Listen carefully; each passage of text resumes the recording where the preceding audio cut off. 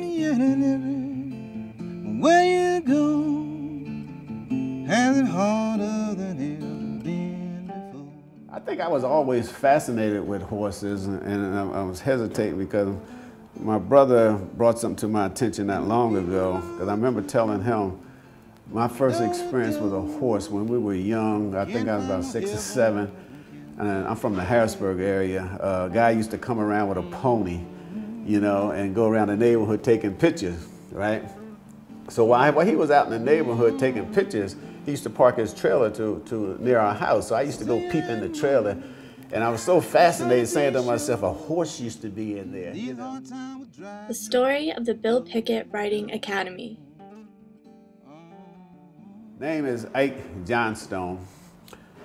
Right now we're at the Bill Pickett Riding Academy located on West River Drive in uh, Montgomery, Fairmount Park, Philadelphia. Willie M., or Bill Pickett, was a famous African American cowboy and rodeo star in the late 19th century. His claim to fame was bulldogging. Bulldogging was a rodeo event in which men would wrestle cattle to the ground by their horns.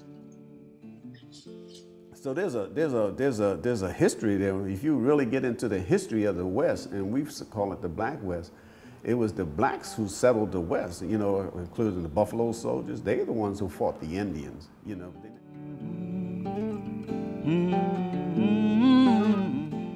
Yeah, what we do, basically what we do, uh, we bring the kids down here. It's primarily was a summer program. We bring the kids down here uh, during the summer months just to get them out the neighborhood, expose them to uh, the horses, and you know we have them riding. But the whole thing wasn't designed to make riders out of them, but it's just to, to get them out the neighborhood. It teaches a lot about ourselves, you know, and it, it teaches, for example, there are three human emotions that are incompatible with uh, uh, communicating with a horse. It's anger, fear, and patience.